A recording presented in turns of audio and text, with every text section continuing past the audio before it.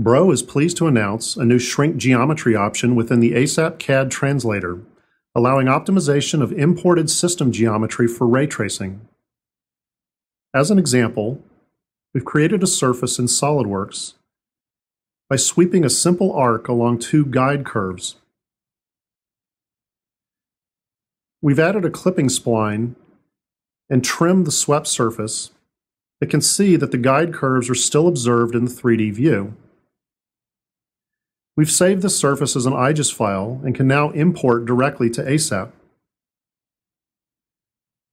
Within ASAP, we've rendered the surface and see both the faceted surface itself as well as the additional trimmed surface edges that can impact ray tracing speed if this surface represents a transmissive or reflective optic.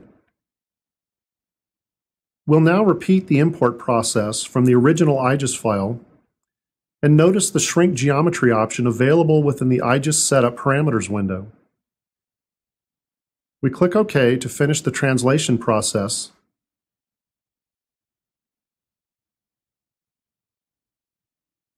and then re-render the surface geometry, first by plotting the edges used to trim the surface,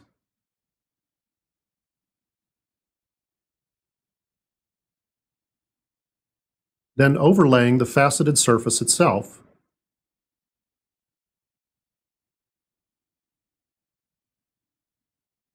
As we examine the rendered views side by side, it's now clear that much of the unnecessary trimming information in the IGES file has been removed using the shrink geometry option.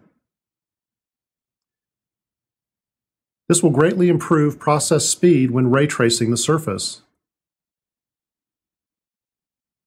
This is yet another tool within the ASAP environment that can help the optical system engineer greatly improve the design and analysis process.